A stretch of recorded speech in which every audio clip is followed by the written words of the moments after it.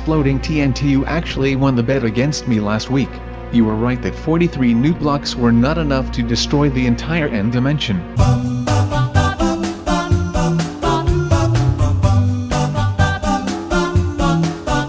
I'm super angry exploding TNT. The only reason I'm here is because I want to make another bet with you so I can start another bet winning streak.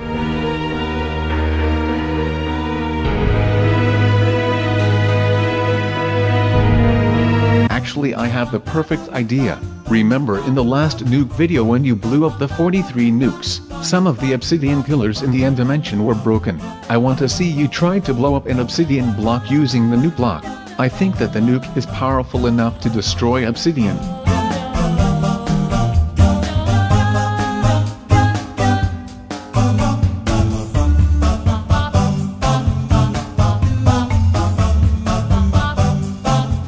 If you're so sure about that then let's do the bet. This time the loser has to give the other person a huge shout out. Whoever loses has to post a comment on the other person's channel saying this. Wow guys I can't believe how great of a YouTuber insert name here is. He is truly one of a kind. I even joined this hashtag notification squad today. Insert name here is truly my inspiration. I hope to one day make videos that are as good as his, even though that isn't possible.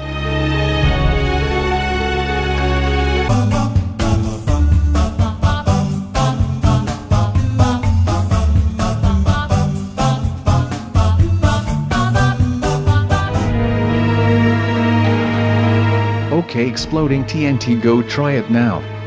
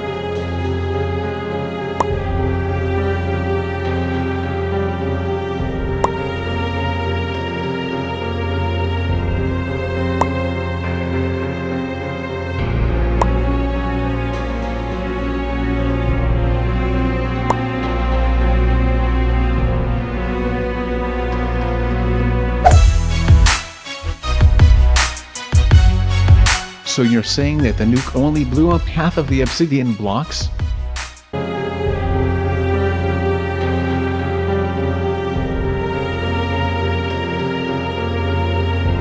Alright exploding TNT do you know what that means? It means we have to do a redo. Except this time let's make it more simple. One nuke versus one obsidian block.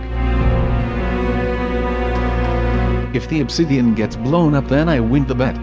If it doesn't, you win.